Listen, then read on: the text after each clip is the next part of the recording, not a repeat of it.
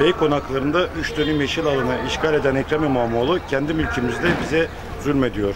Bu arazi özel mülktür diye vatandaş buraya eee, bir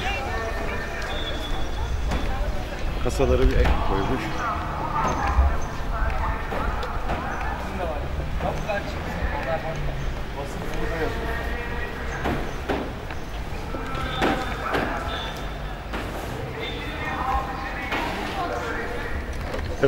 Gelsin, ne yapıyorsunuz? Ne yapalım abi? Başkanın zulmüne karşı direniyoruz.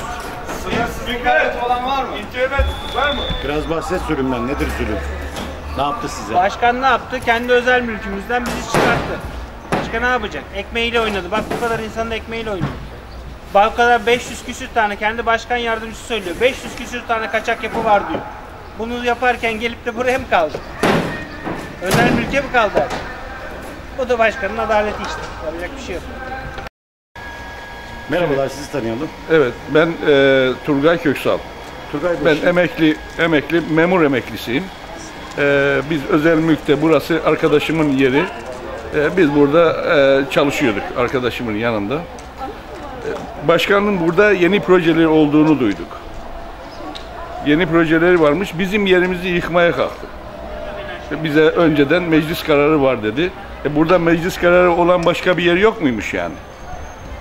Ben bu başkana da oy verdim. Benim e, evimin üstünde komşuda toplantı da yaptık. Oturduk. Dürüst olacağını, herkese aynı eşit davranacağını söylemişti. Nerede eşit davranması? burayı yıkma sebebi neymiş? Burası yıkma sebebi bu bizim duyduğumuza göre şu pazar e, pazar pazarının kaldırılması, buraya pazar pazarının getirilmesi. Evet. İki, iki pazar, çarşamba pazarıyla e, pazar pazarı olacaktı. Burada yeni projeleri varmış. Özel mülkte ne yeni projesi varmış? Özel mülkte yaptırırlar mı?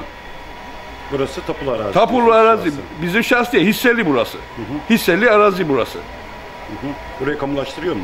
Kamulaştırma yok, hiçbir şey yok. Kamulaştırsın tamam bizim arazimizin bedelini gideriz mahkemeye, gitsin mahkemeye şey kullanma hakkı bizim. Ondan belediyenin burada 190 metrekare mi ne yeri varmış. Zaten e, ne kadar yeri varsa yeşil alana çevirmiş zaten burayı. Onun e, şeysi burada e, arazisi yok ki. Yeşil alan burada buyurun. E, kendi yapmış yeşil alan. Bu, bu burası da aynı şeye tapuya dahil. Hepsi tümü. Peki burayla ne yapılacağını iddia ediyorlar ve neler duydunuz? Burayla- Valla o konuda bu şu pazarla ilgili değine duyduk ama doğru gerçek ne kadarı bilemiyoruz. Burası zaten halka açmış, e, özel mülki halka açmış. E, halk arabasını otopark olarak kullanıyor burayı. Evet. Okul okul var yanında, diğer yanında hastane. Burada kullanıyor burayı. Şuraya bir kasalar koymuşsunuz, bir Türk bayrağı koymuşsunuz. Evet. Boykot mu yapıyorsunuz? Protesto. Boykot değil. Biz e, e, yıkılacak yerlerin yıkılmadığını. Hani orayı da yıksın tamam. Orasını da yıksın, burasını da yıksın. Adaletse öyle yapsın. İlk başta kendi arazisini yıksın. O devletin devletin arazisini gasp etmiş durumdadır şu Nereden an. bahsediyorsunuz? Şu e, ne konakları? Beykonak. Bey konakları. Evet. Peki e, bugün yıkılacak mı burası? Bir de mi yıkılacak? Valla dediler yıkılacak dediler. Biz de bekliyoruz bakalım. Biz yıkmaya başladık zaten. Elektrik tesisatı falan makineleri sökmeye başladık. Peki geçmiş olsun. Sağ olun teşekkür ederim. Evet dediğimiz gibi Beylikdüzü Belediyesi'nin yapmış olduğu bir etkinliği daha görüyoruz.